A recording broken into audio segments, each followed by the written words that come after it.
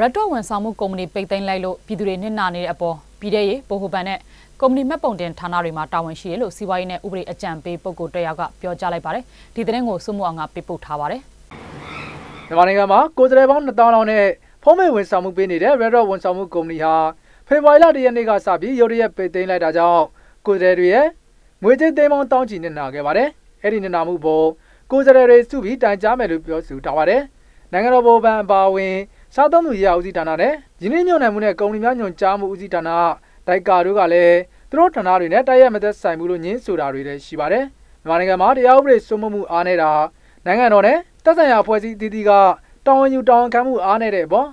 နိုင်ငံသားတွေက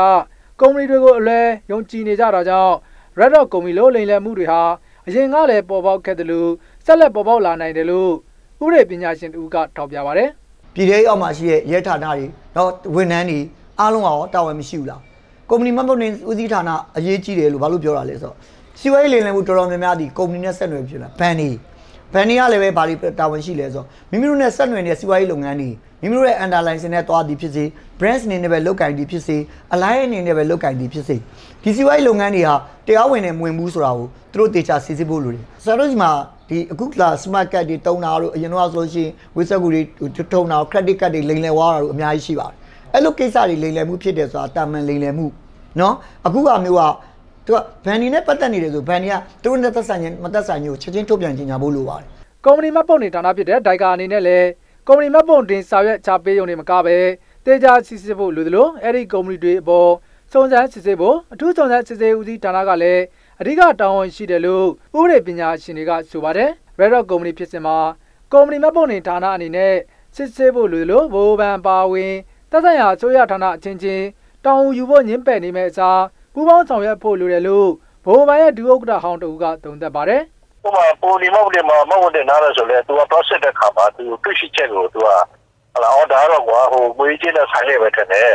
အဲငါလည်းဘိုးဘာကြောက်ကြမှာပဲဆိုရင်အတိတရားလေးတွေလိုတာပေါ့အဲ့ဒီလိုအပ်ချက်လေးတွေကြောင့်ဖြစ်တာပြီးဆိုတော့မပြောနဲ့ပါဗျာကျွန်တော်တို့နဲ့မဆိုင်ကျွန်တော်စီမမမတင်လို့ကျွန်တော်စီလာပြီးတော့လိုက်ရှင်မီလို့ကျွန်တော်ကျမတို့နဲ့မဆိုင်ပါဘူးဆိုတာလို့တော့ဒါအဖွဲ့အစည်းရတယ်ပြောဖို့မသိဘူးလေဟုတ်တယ်မလားဘာသာကွန်ပျူတာဘိုးဘာပဲဖြစ်စေနော်ဆက်သွယ်ရေးဝန်ကြီးဌာနပဲဖြစ်စေပေါ့ဗျာရတော့ကုမ္ပဏီရုတ်တရက်ပိတ်သိမ်းသွားတာကြောင့်ငွေကြေးဆုံးရှုံးမှုတွေဖြစ်ပေါ်ခဲ့တယ်ပေါ့အလားတူငွေကြေးလိမ်လည်မှုတွေမဖြစ်ဖို့နိုင်ငံတော်နဲ့တာဆိုင်ရာဌာနတွေက ပြည်သူလူထုကိုဥပဒေနဲ့ကာကွယ်ပေးဖို့ Red Dot ကိုယ်စားလှယ်တူကတောင်းဆိုလိုက်ပါတယ်။ပြေးပြီဆိုတော့ဘာမှလုပ်လို့တော့မရတော့ဘူး။ဒါပေမဲ့နိုင်ငံတော်အနေနဲ့သူတို့ကနေဘလို့နောက်ပိုင်းအသင်းဖွဲ့တွေပေါ်မှာဒါမျိုးစီးပွားရေးလုပ်ငန်းရှင်တွေဝင်လာပြီဆိုလို့ရှိရင်ဘလို့များပြည်သူလူထုအတွက်ကာကွယ်ပေးနိုင်မလဲဆိုတဲ့ဥပဒေမျိုးဟိုရှိထားမယ်ဆိုရင်နောက်အလိန်ခံရဖို့နည်းသွားမှာပေါ့ဟုတ်မလား အခုကတော့ဗမာပြည်ကလူတွေကအလိန်ခံရတာသိများနေရတော့ကုမ္ပဏီပဲသိမ်းသွားတဲ့ပေါ်ပြည်သူအများစုနစ်နာခဲ့ပြီးလိမ့်လည်သွားတဲ့ပေါ်တရားဥပဒေစိုးမိုးဖို့ရဲတပ်ဖွဲ့ကိုတိုင်ကြားမှုဖွင့်ဖို့လိုသလိုဤပညာနဲ့လိမ့်လည်သွားတာကြောင့် Cyber Crime နဲ့ညီစွန်းတယ်လို့လည်းအငိမ့်စားရဲမှုချုပ်တူကသုံးသပ်ပါတယ်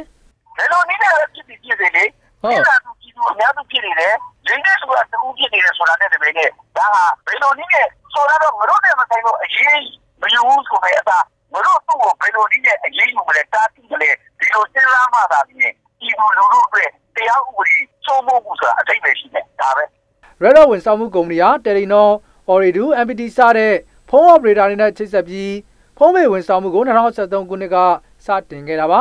2018ခုနှစ်စက်တင်ဘာလလောက်ကစပြီးဝန်ဆောင်မှုများတော့တဲ့ဘောဖြည့်ရှင်းပေးဖို့ပြောဆိုခဲ့ပေမဲ့ရုတ်တရက်ပိတ်သိမ်းသွားတာပါအဲ့ဒီဘောကိုယ်စားလှယ်တဦးကိုအနည်းဆုံးငွေကျပ်3သိန်းဝန်းကျင်ကနေ9သိန်းလောက်အထိ နစ်နာမှုတွေဖြစ်ခဲ့ပါတယ်။ Red Dot ဝန်ဆောင်မှုကုမ္ပဏီဟာအိုင်ယာလန်နိုင်ငံကနေလာရောက်ရင်းနှီးမြှုပ်နှံတာဖြစ်ပြီး